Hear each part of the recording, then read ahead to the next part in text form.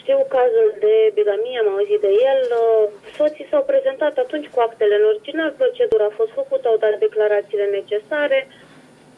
Eu, ca și notar, noi nu prea avem cum să verificăm dacă au mai fost sau nu căsătorit. Procedura nu prea ne permite și de avem acele declarații pe propria răspundere, prin care uh, clientul chiar uh, spune dacă a, declară pe propria răspundere, dacă m-a mai fost căsătorit, nu a mai fost căsătorit. Tocmai din această problemă că noi nu am putea verifica acest lucru. Uh, Nici nu cred că aș fi avut cum să verific.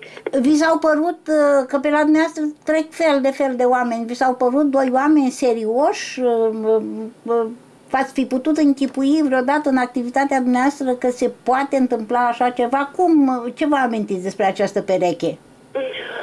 Sincer să fiu, multe divorțuri nu prea am, am nu prea mi-aduc aminte, dar în general dacă am o suspiciune nu prea fac. Dacă mi se pare ceva suspect, mi se pare ceva, nu, dar nu era, părea destul de calm, au venit, s-au prezentat, au depus actele, actele erau în, în ordine, mai mult de atâta nu aveam ce să mai, uh, mai verific. Da, bine. Vreau să se grăbesc, doreau să desfacă căsătoria, erau de comun acord.